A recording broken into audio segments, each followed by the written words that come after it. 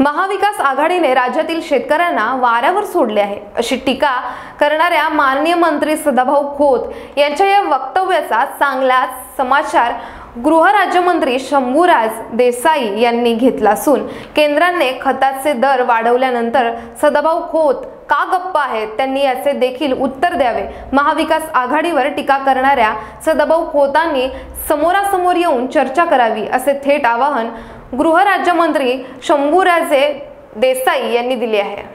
ते हे घेऊ ना? हो. विधान परिषद सदस्य आणि भारतीय जनता पक्षाचे माजी राज्यमंत्री कृषी राज्यमंत्री श्री सदाभाऊ खोत यांनी महाविकास आघाडीच्या सरकारनं शेतकऱ्यांना मदत करावी शेतकऱ्यांना जाहीर केलेली मदत द्यावी अशा पद्धतीचं वक्तव्य केल्याचं आपल्याकडनं आत्ता समजलं. मला या गोष्टीची कीव येते की सदाभाऊ खोतांच्यासारख्या कृषी खात्याचं राज्यमंत्रीपद ज्यांनी सांभाळलेलं आहे त्यांनी माहिती न घेता अपुऱ्या माहितीच्या आधारे अशा पद्धतीचं बोलणं.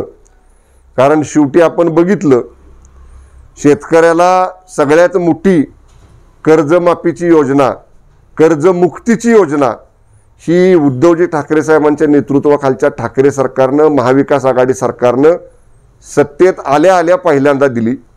जवळपास बावीस हजार कोटी रुपये प्रत्यक्ष शेतकऱ्यांच्या खात्यावरती कर्जमाफीचे कर्जमुक्तीचे जमा केले. फयान वादळ असेल चक्रीवादळ असेल कसलीही नैसर्गिक आपत्ती असेल शेतकऱ्याचं जे जे नुकसान झालं ते ते राज्य राज्य सरकारच्या तिजोरीतनं पैसे देऊन महाविकास आघाडीनं त्या शेतकऱ्याला मदत करायचं काम केलेलं आहे.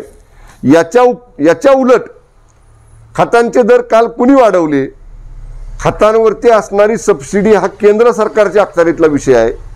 राज्य सरकार सतत केंद्राला विनंती करते आमचे राज्याचे माननीय कृषी मंत्री केंद्रीय कृषी मंत्र्यांना सतत विनंती करतायत.